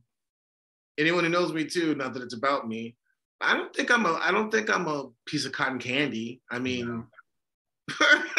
you know, someone might be hearing this, someone might stumble on and think, oh, I think I'm some kind of whatever. Like, no, I, I have no problem correcting someone if, if it's needed, you know, but I, I, I, you know, I try not to correct people out of annoyance and, and out of like my own vanity. Like I try to correct my rule for correcting someone is like, if they continue on this path, will it be destructive before for them and for others around them, right? Um, are they able to receive this correction? You know what I mean? Like what I'm trying to get at is, is I'm in a place where I, where not only do I have the authority, but I need to correct people, and I'm not throwing them out like hotcakes, right? I, I, pray, I try to pray for people. I try to pray for the Holy Spirit to show me the right opportunities to correct people so that it will bear fruit right? Because if you're correcting people just because you or whatever, um, it's not going to bear, at least not going to bear good fruit. It might very well bear bad fruit, but it won't bear good fruit. Yeah, I mean, uh, I've and like the Holy Spirit has a way of working on people because, like I said, things just started to feel wrong. And I mean, I don't say this out as like some kind of false humility. I generally say like I'm not the most in tune person. And like if I can get corrected, he obviously has a way of working with people to correct them. I'm not trying to be like, oh, with this wretched sinner, like literally, like there are times where stuff is just going on right in front of me. I'm just not seeing it. I'm just not in tune. And so, like, if I can be corrected, if I can like literally be like, it's just feeling weird to do that then like I go to father like a couple weeks later and say, like, Hey father, it's probably not good for me to do this. And he'd be like, Yeah, God bless you. Don't do that. And that's pretty much it. Like, you know, that that tends to be how some of the stuff goes down. You know, so I got two quick ones for you, Father. When you are going up for communion and you have your hands in your chest, is it right over left or left over right? Against your chest. Did you say something? Oh, I'm fine. I'm listening. Well, you think of it this way, right? When you bring your arms down, if you were to receive a blessing, how would that look? Left over right. Like, okay, cool. But again, you know, when in Constantinople. Yeah, I'm not, you know, I, you know, um, but yeah. Okay. Then uh, last one I have is what constitutes holy trash. Yeah, so this is. I'm sorry. I'm sorry. You glitched there. What did you say? Holy trash. Yeah, yeah holy trash. Yeah. Okay. So, um, this is a this is a thing where unfortunately there's so many there's so many communities that don't even have this concept. Unfortunately, um, like I've known communities where they just throw icon, like they'll print full colored icons on their bulletins and just throw them in the trash. You know what I mean? Like that's it. Um, yeah, anything with like an icon on it. Um, definitely something that has been like in contact with with holy sacramental things. You know, um, like for instance. Um, you know, if I like, there's um, if I've used paper towels to clean the altar, like if oil have spilt there, you know, um, the altar itself, you know, or like um, if I like, you know, I have chalices that I'll, you know, you've seen where I'll use different chalices depending on the the size of the the communicants, you know. If if one's been up there for a little bit longer, might have some dust, you know, I'll clean it off with some rose water or some holy water. But that paper towel, if I use a paper towel, I'll, I'll have I'll burn that versus just tossing it in the trash. So yeah, that was the second part. Was what do you do with holy trash as Yeah, opposed to just regular Yeah, trash? Holy trash. Mhm. You burn it and make the. I'm. I asked you this one time, so I'm sorry, but you make like the sign of the cross over the fire and stuff like that. Yeah, well, I make the sign of the cross, you know, and light it up. Yeah, Or- you know. And, So and, and, and again, and again, there's some people who like, I've been Orthodox 150 years. I've never heard that. Well, God bless you. You know what I mean? Um, but yeah. Yeah. so So that would be like a cup that you used to drink holy water out of, like a little Dixie cup. Like in our Yeah. parish, we have like holy water at the front for people in the choir, or if you're struggling and you need like a little extra blessing, you just drink a little bit of holy water. You take that cup and you throw it in a special trash can right next to it, which is that I couldn't like throw like the tissue I used to like wipe my son's snotty nose in that same trash. no, There's separate trash for that yeah. but like if if um I, that, that's the example I'm going to use. The holy water. Palms, palms from Palm Sunday, right? The May they be eggshells blessed. from Pascha. There's a special bucket that we had for the eggshells because they're blessed eggs. Right. Don't want to just throw them in the trash or throw them on the ground or something like that. There's a special place for that stuff. Right. So I mean, and so you can even get into a thing where it's like, and again, it's just all where you're at, you know. But just, um, I mean, even like St. Paisius would talk about like he would, you know, like food, blessed food, not throwing it away, you know, and that's why it's a good habit to have compost. So blessed food, as in uh, I have blessed my food, like at yeah, my and like instead of just scraping your leftovers into the trash, scrape it into the compost. Like What a empathy. mercy. See, I've been corrected just now. I'll say another thing too. Don't ever, ever, ever pour holy water down the drain. Oh yeah. Well, no, no, not. Oh yeah, because I've known people who've done that. In fact, Saint Paisius he talks about like a woman became possessed from from doing that. You know. Really? Oh yeah, yeah, yeah. I'm sure I've done it. I'm sure I've done it. Sure, sure. And it, and it's it's just and again it's one of those things like so this is where it's tough because we're like this all just sounds like a bunch of superstitious hooey, and you know what? For some people it might be that because there might be some people who their orthodoxy is so di- like divorced from the person of Christ and the saints. That's a thing. That's a thing. You know, um, Marina wrote, wrote her uh, wrote a paper in her undergrad on this on the some some kind of aberration of, of etiquette being birthed out of a lack of catechism because of the fall of communism. It's a really good paper actually. But yeah, there's there's a whole thing where it's just like um I like I gave the she gave the example of like when she was um uh I can't remember where Saint Matrona where she went to like venerate her relics, I think it is. It was like, oh, why do you do this? Like, oh, because it's good for your health. It's like, uh, like, yeah, it's good for your health, but like, aren't you doing it to honor the saint who, like, you know what I mean? Who was, who was you know, im- imbued with like the grace of God. You know what I'm saying? So like, so this is this is a thing too, where it's like, yeah, I mean, that stuff does exist where people can get like superstitious with this, and so that's why, it, again, it has to be with love, you know, and you know, um, Stevie Wonder, you know, the great Stevie Wonder. What did he say? Right? Um, when you believe in things you don't understand, superstition. You know, so like that's that's something that's a good measure too. It's like, and that's why I don't. When people want to ask questions, like I love people asking questions, but they have to be ready for an answer. And what I mean by that is, um, you're not like this gets into a whole nother conversation in regards of like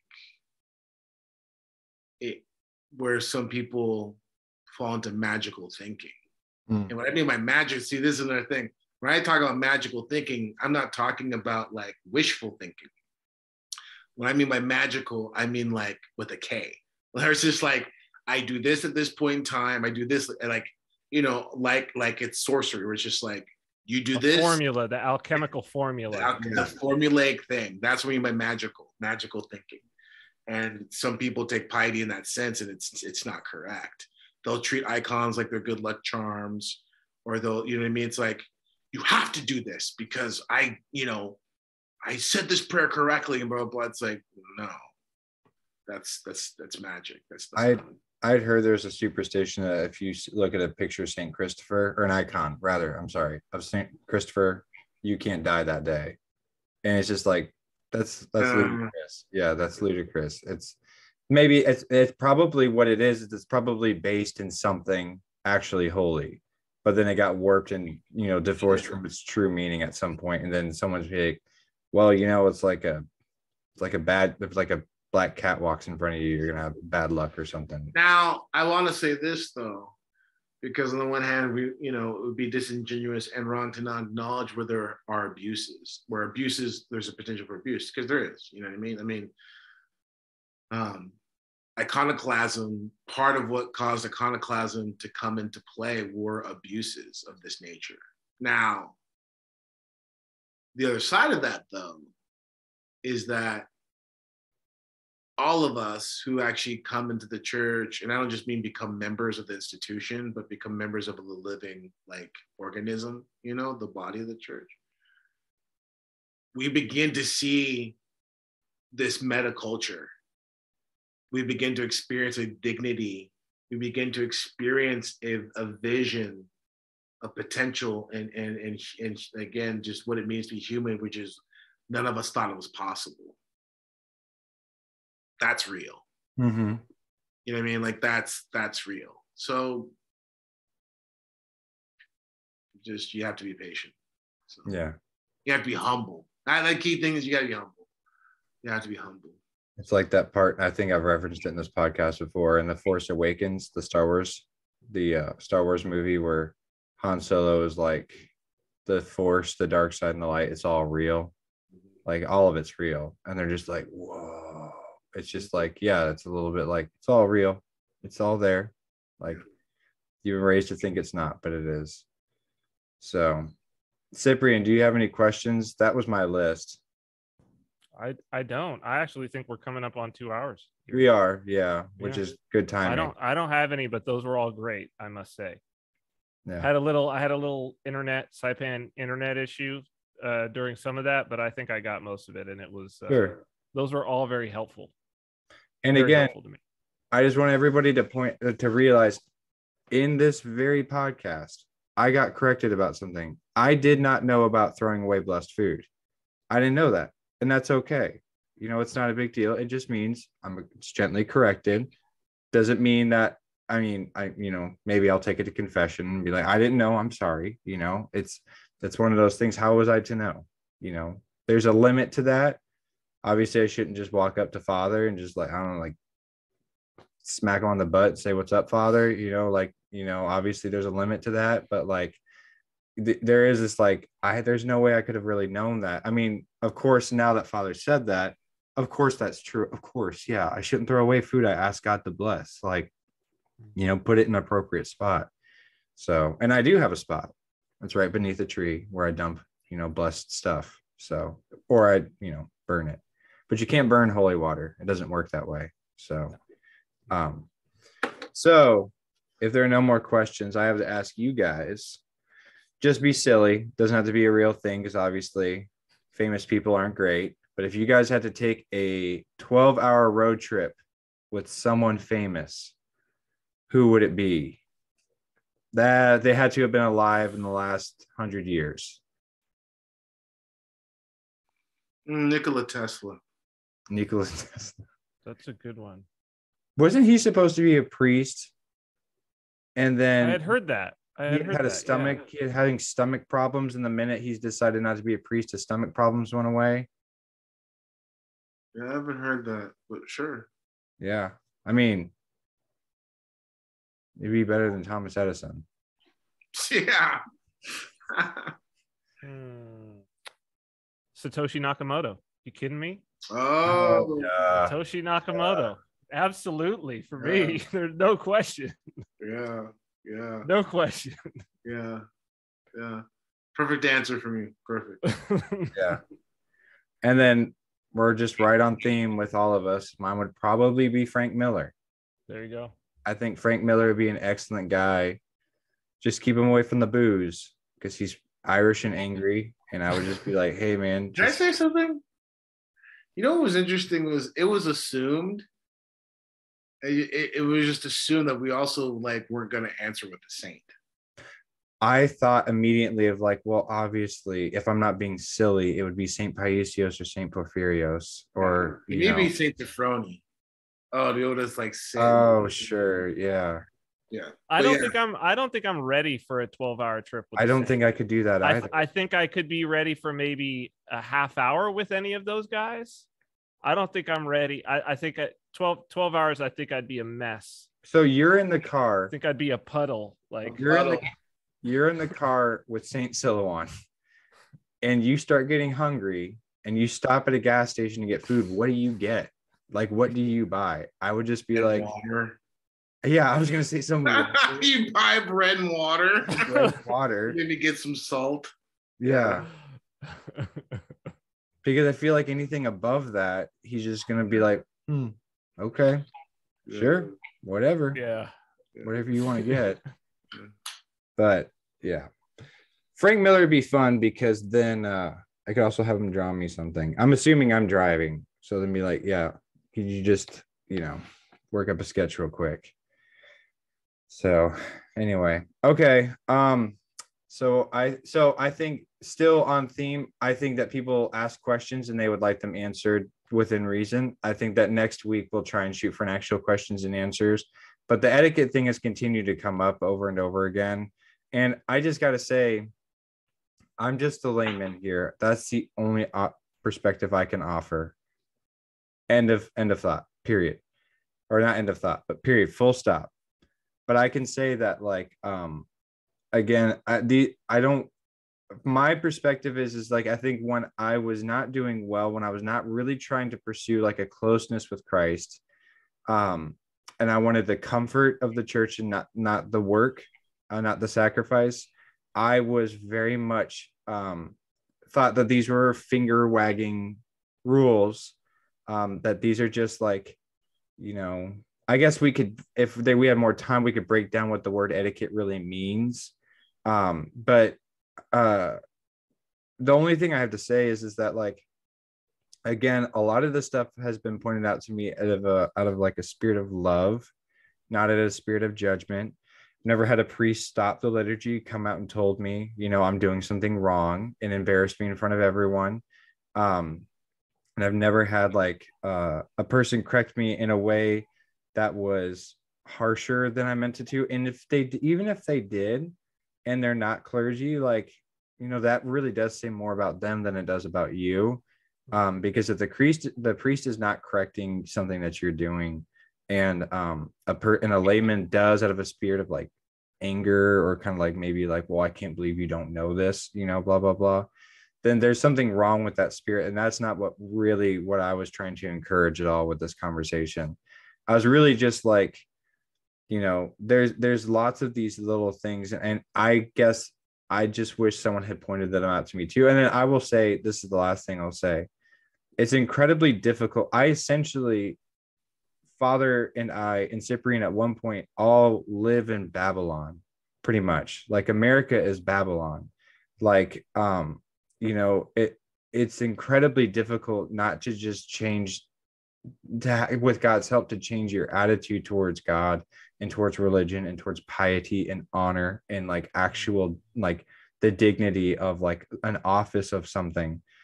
But like not only that, but like to actually have like um to actually be able to go into like thousands of or a year a church with thousands of years of tradition and be able to just like pick it up all in one day without some correction without some help is just that's that's silly you know and so just you know you're going to be wrong and that's the wonderful thing about being orthodox is you're just allowed to be wrong you know you can just be wrong it's okay like as long as you're able to accept a measure of like correction and being able to learn from it, then you're all good. So I'll go ahead and step off my my uh my soapbox. So good man. I well, I just want to say I appreciate I appreciate this episode and the idea.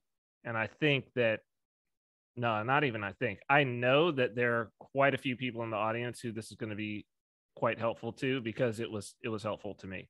And I and I know there are people who listen who are within my circle who were just who are either catechumens now or were just even baptized this last week, which is fantastic. And I know that this is exactly the type of episode that that they will all be thankful that was there. So it's good on you. Fantastic. Good on you. Father, any last words? Christ is risen. and truth he is risen. Nice. All right. Thanks everyone. Thanks thanks for having a good night.